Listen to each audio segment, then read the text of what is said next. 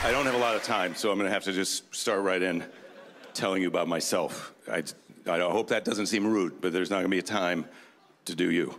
It's just me. Um, so I'm a, I, have a fa- I have a family. I just kind of realized recently I have, I have my own family. I have my own family. You know, I mean, it's been going on for a while. My daughter is eight, but uh, I have a wife and a daughter, and that's my, my family. It's my family. You know, it, it feels different from that family that you're born into, right? Those people.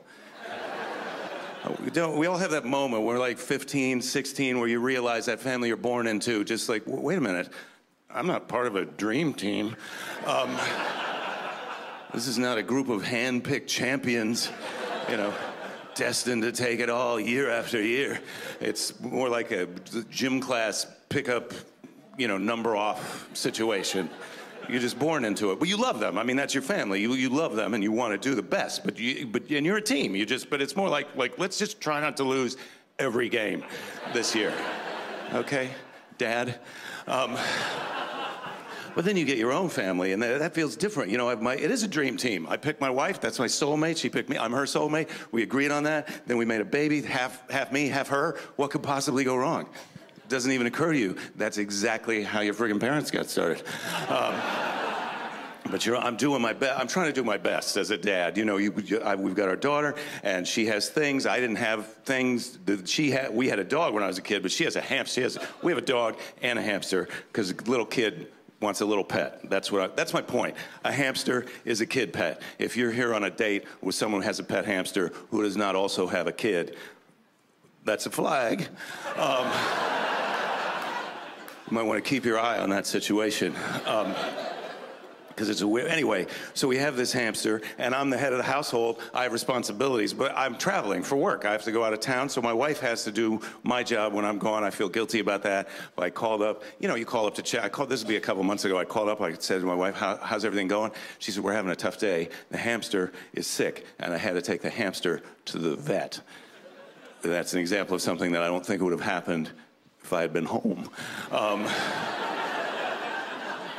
right? I, I, I, just I don't feel like you take the hamster to the vet. That's let me back up in case you're not familiar with hamsters. They cost twenty dollars. Um, so it's weird to take the hamster to the vet. Like you know, the vet the vet doesn't really even understand what you're doing there with a hamster. It, it, would be like if you took a big lighter to the shop, you know, like, hey, it's, it sparks, but it I can't get it to light up. It's, I don't know what the hell's wrong with it. Like, got juice in it. Yeah. They don't know what to do. I, and I'm not making that up either. My wife admitted to me she tried to call the dog's vet to make an appointment for the hamster, and the dog vet just told her, I'm sorry, we don't see pocket animals. Um, so she had to call around. It's a big city, so she called around. You can find a vet that will, you know, we enjoy money. And uh, yeah, we would love to take a look at your hamster. In fact, it's our dream to hook it up to a machine. Um, so yeah, a little hamster wheeling around a dialysis machine. That could happen. That's where we're at, society. Anyway, so my wife says she took the hamster to the vet. I say, well, then what happened? That's what I say. I've been married 10 years.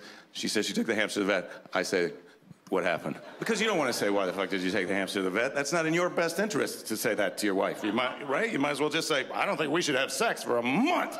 Um, what's your opinion? Is that long enough? Um, so, I say, then what happened? And My wife starts telling me, and my daughter grabs the phone because she's been to the vet with a hamster, so she wants to tell the story. She's like, Daddy, we took Snowflake to the vet. That's the hamster's name. We took Snowflake to the vet, and the vet gave us antibiotics because she said that Snowflake might have a urinary tract infection. I know. So I said, Well, how, how, do you, how, does she know that? She says, Because her vagina is inflamed. And. Uh, I, I, I was like, could you put your mom back on, please? I was over my head in this hamster conversation. So my wife gets back on, and then she says, Yeah, the vet gave us antibiotics, and we hope that those work because the vet said if the antibiotics don't work, that could mean that there is a problem with the hamster's uterus, in which case the hamster would need an operation. And I know, okay, quick difference between you and I right now. When I heard that, I was not allowed to laugh. Um, yeah. I was in the middle of a pretty serious conversation. So I have to hear the hamster might need an operation. Then I have to go, oh my God.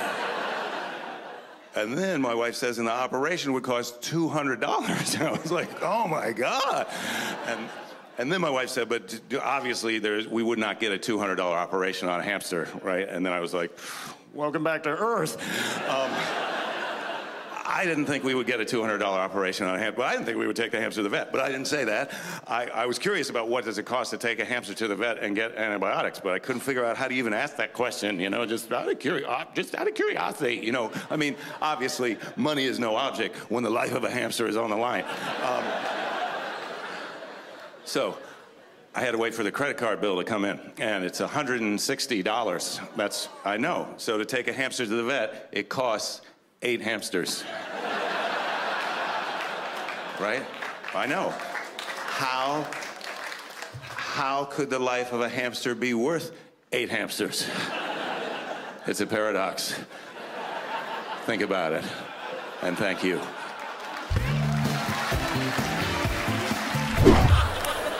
I was in the airport. Those treadmills they've got are huge. Because Americans are always saying things that there's not that much proof for. You hear us say things like, uh, we're number one.